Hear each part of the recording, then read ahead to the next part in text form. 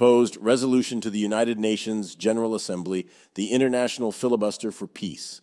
The General Assembly, recalling its resolution 3667 of the 30th of November 1981, by which it declared that the third Tuesday of September, the opening day of the regular sessions of the General Assembly, shall be officially proclaimed and observed as International Day of Peace and shall be devoted to commemorating and strengthening the ideals of peace, both within and among all nations and peoples, recalling also its other relevant resolutions, including Resolution 5514 of the 3rd of November 2000 reaffirming the contribution that the observance and celebration of the International Day of Peace makes in strengthening the ideals of peace and alleviating tensions and causes of conflict, considering the unique opportunity it offers for a cessation of violence and conflict throughout the world, and the related importance of achieving the broadest possible awareness and observance of the International Day of Peace among the global community,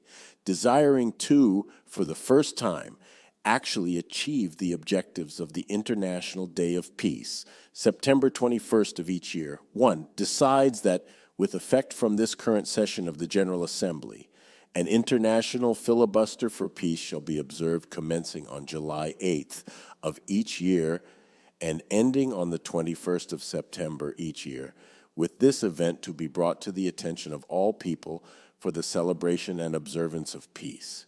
Two, declares that each country in the United Nations General Assembly shall henceforth be designated and observe a specific day of national ceasefire and nonviolence between July 8th and September 20th of each year. Three, decides that three countries in different time zones will celebrate and broadcast an eight hour celebrations of said ceasefire each day from July 8th to September 13th each year.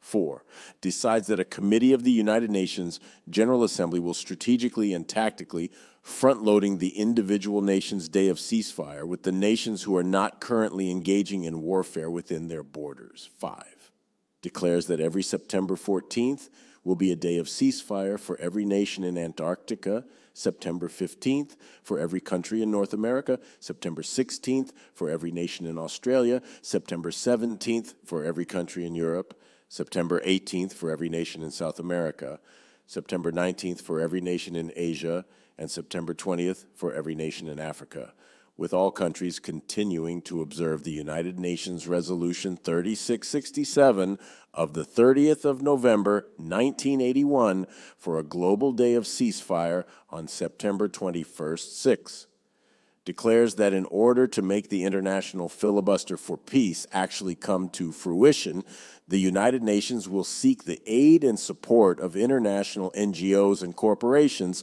to sponsor the international filibuster for peace. Seven, declares it will seek the aid and assistance of international platforms of social media, including Facebook, YouTube, Snapchat, as well as traditional media to promote, enhance, and become a part of the International Filibuster of Peace from July 8th to September 21st of each year.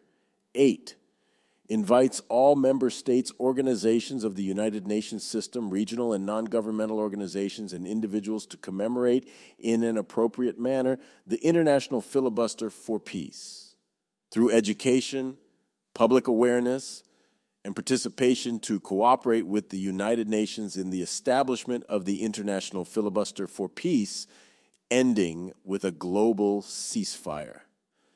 This resolution is actionable immediately with the passage of the Peacecraft.us resolution by this current session of the General Assembly Congress. Contact them. Trust me, wait until you see the alternate reality game. Because the global pandemic brought QR codes into common use, and because AI has become so exponentially more efficient, I hope you will not mistake my non human presentation. This voice was typed in, and it is just a made up video of me. I wasn't even there. Seriously, I am not anonymous, but I'd like to anonymously bring a moment of peace to this earth. Read the extended plan, and the calendar is all set. Let's do this. Bono, are you tired? Midge Ure bored? Springsteen? $500 million? Are you nuts? I know he's ready. Let's put this show on the road and start helping. The plan is simple and it will work one day at a time. That's how you bring peace. The Peacecraft.us resolution is seeking sponsor nations. Please find a nation that will sponsor this resolution and share it like the wind, like Jimi Hendrix wind. Peace, anonymously yours,